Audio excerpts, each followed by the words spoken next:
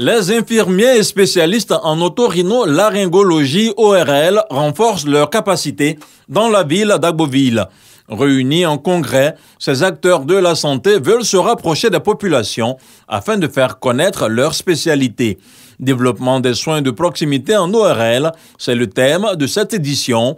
L'initiative est de l'Association des infirmiers et spécialistes en ORL, un acte fortement apprécié par les acteurs du secteur. Ce congrès est bienvenu, ça nous permet de renforcer nos connaissances et aussi recenser les difficultés que nos collègues ont à l'intérieur du pays. Euh, chaque année, dans le mois de novembre, nous nous retrouvons pour euh, partager l'expérience acquise sur le terrain et cela nous permet d'apporter un plus dans la prise en charge de la population. À travers donc ce congrès, ces derniers plaident pour de meilleures conditions de travail. L'ORL a besoin d'un minimum de matériel pour être efficace. Parce que nous regardons dans les cavités qui sont le plus sombres.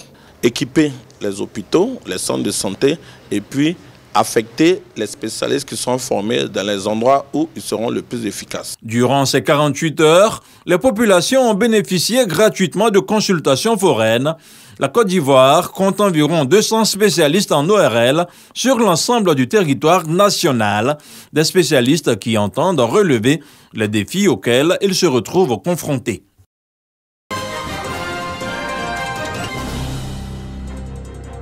Sur un site d'un hectare et demi, aménagé au centre du village de Biliowa et choisi pour fêter l'événement, la ministre Miss Belmont de pose la première pierre du futur marché de cette localité.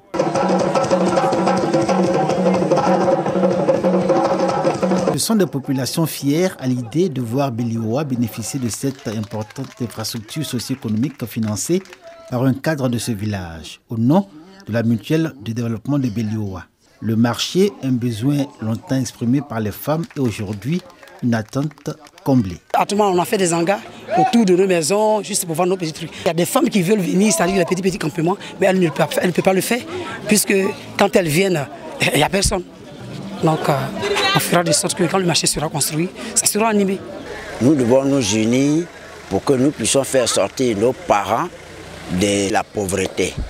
Donc aujourd'hui, le marché n'est pas un luxe, mais c'est un lieu où les femmes peuvent faire valoir euh, leur énergie, leur force, pour que chaque femme puisse vendre et se procurer de l'argent. Le marché qui sortira de terre à Beliowa est le fruit de l'unité et de la solidarité des filles, fils et cadres de ce village. Ils partagent la même vision pour ce qui est du développement de Beliowa et du progrès de ses populations, autochtones, allochtones et halogènes. Illustration la présence d'une forte délégation de la diaspora pour célébrer l'événement. La ministre de la Cohésion nationale, de la solidarité et de la lutte contre la pauvreté a relevé cette unité fraternelle et ce vivre ensemble, caractéristique de la région du Co.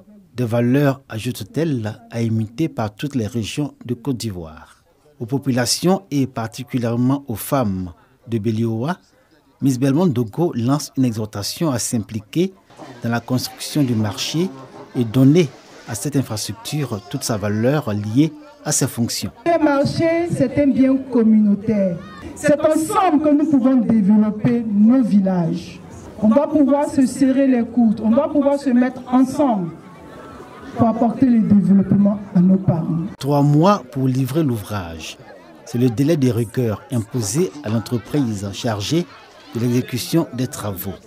Et à Beliowa, on ne cache pas son empressement de voir le village disposer en fait de marché moderne.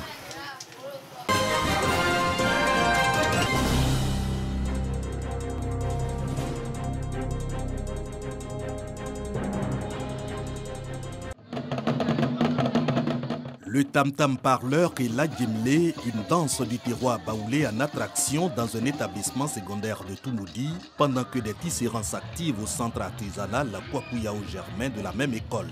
Des danseurs et autres fans de poésie ou de balafon peuvent s'adonner à des démonstrations.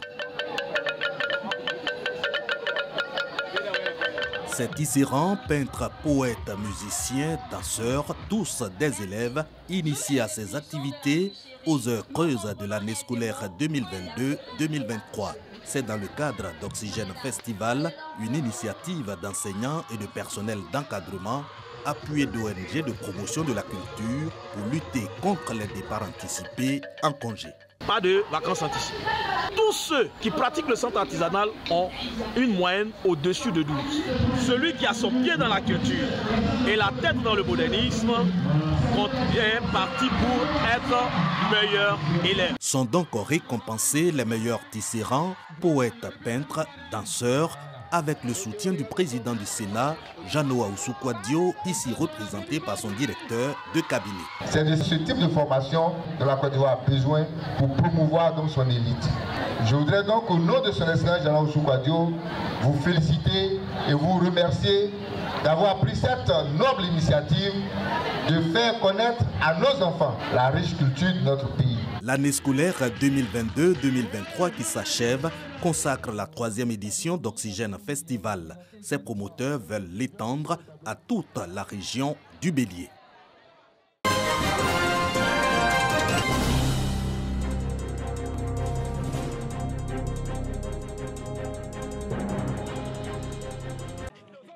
Renforcer le climat de paix sociale entre les populations, c'est dans cette dynamique que s'est engagée depuis quelques années la Fédération nationale des confréries d'Ozo de Côte d'Ivoire. Récemment, dans les régions de la Bagoué et du Hambol, les membres de cette organisation sont instruits sur la thématique de l'action civilo-militaire et citoyenneté présentée par le CNDH et la coordination africaine des droits de l'homme pour les armées. Comme ça, ça, tu vas faire autre chose qui est contrairement à la loi, ce qui va t'arriver t'arrivera. C'est pas Dieu qui a fait ça. Rien au-dessus de la loi. C'est la loi que nous faisons et c'est nous qui faisons la loi. Il faut qu'on respecte. En plus de ces thématiques liées à la paix, les membres de la FUNAGOD aussi sont sensibilisés sur les méfaits de la déforestation et le paillage clandestin. Les autorités administratives et préfectorales saluent tous cet engagement qui participe au développement de la Côte d'Ivoire. Un dozo bien formé, c'est toute la communauté villageoise, toute la sous-préfecture, tous les étrangers et tout le pays qui gagnent. Parce que aujourd'hui, face à la menace terroriste contre la Côte d'Ivoire, nous avons besoin de prendre l'apport des dozos pour résoudre cette question. Le président de la FENAGODOSI, Sori Dosso, entend multiplier des initiatives du genre.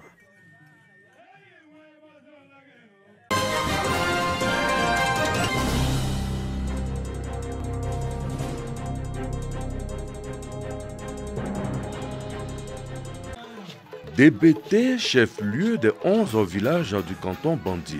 Nous sommes dans le département de Tengrela. Souleymane Kone est installé comme quatrième chef de canton. Il reçoit ses attributs des mains de ses pairs en conformité avec les exigences de la tradition. Population et garant de la tradition attendent de lui des actions d'un véritable leader. Cette intronisation est importante car nous mettons en place un nouveau capitaine. Un capitaine, ce n'est pas n'importe qui, c'est une force, un relais nécessaire pour sa population et une autorité coutumière qui fonctionne avec les institutions. Sa première mission d'abord, c'est d'abord réunir la famille de la chefferie et modestement accepter que les décisions qu'il prendrait, ce serait avec le renfort de tout le monde. Le représentant de Bamou Traoré, sénateur, parrain de la cérémonie, va dans le même sens. Lorsque on désigne un chef, ou lorsque votre fils ou votre petit-fils devient imam ou bien curé, quand il doit diriger la prière, si vous êtes convaincu de votre foi, vous devez prier derrière lui. Que la population de DBT soit à l'écoute de leur nouveau chef de canton. Souleymane Kone, le nouveau chef du canton à Tengrela, est âgé de 69 ans. Il est marié et père de 10 enfants. Sa cérémonie d'installation était placée sous le haut parrainage du ministre d'État, ministre de la Défense, Biraima Ouattara.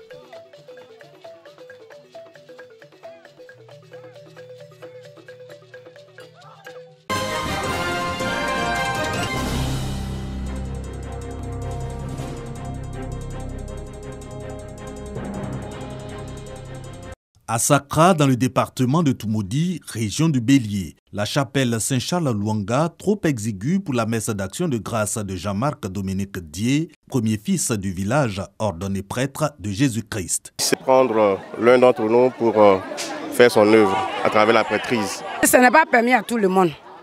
Vraiment. Il n'y a que remerciement à Dieu. Merci à Dieu. Merci pour ses bienfaits. Et à travers ce merci, dis merci aussi à mes parents, à mes amis à tous ceux qui m'ont soutenu jusque-là. Reconnaissance à Dieu pour le choix de Jean-Marc pour conduire son peuple.